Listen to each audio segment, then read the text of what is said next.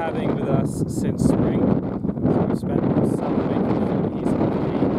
His weight is up good enough to be released now in the autumn. To Africa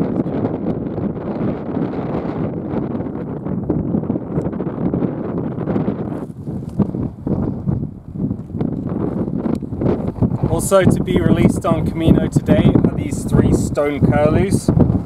They were handed over to us from an illegal collection earlier in the summer and unfortunately their wings weren't ready to fly. They had to have some feathers pulled. Now they've regrown so we can set them free.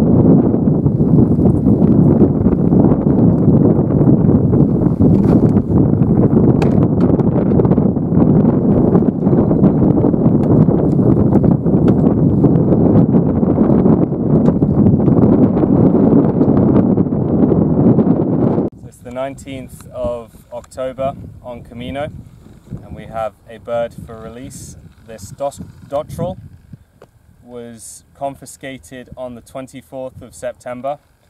Unfortunately, it's had problems with its wing, so we had to rehabilitate it. Now it's been fitted with a ring so that we can monitor it, and it's set to be released here on the island.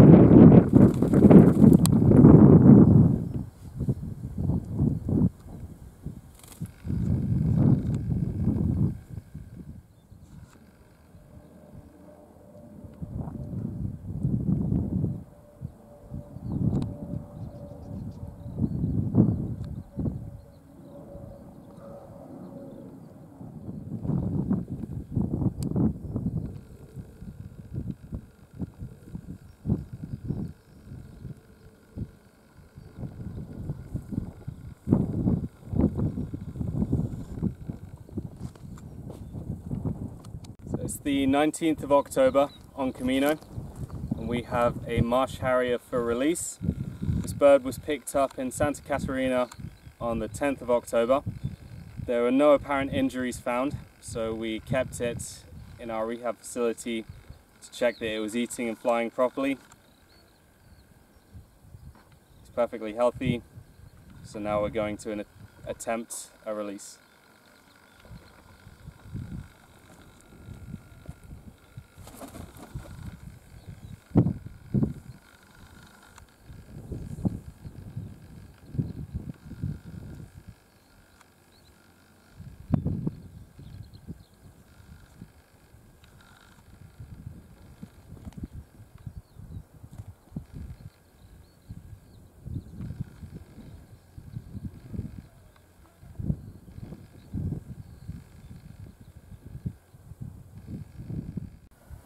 So this is the short-eared owl that was confiscated by the police in Siġġiewi. Um, it had pellets in its body and uh, was kept illegally for um, quite some time, and, and now it's ready for release. We've uh, ringed it and with the appropriate code.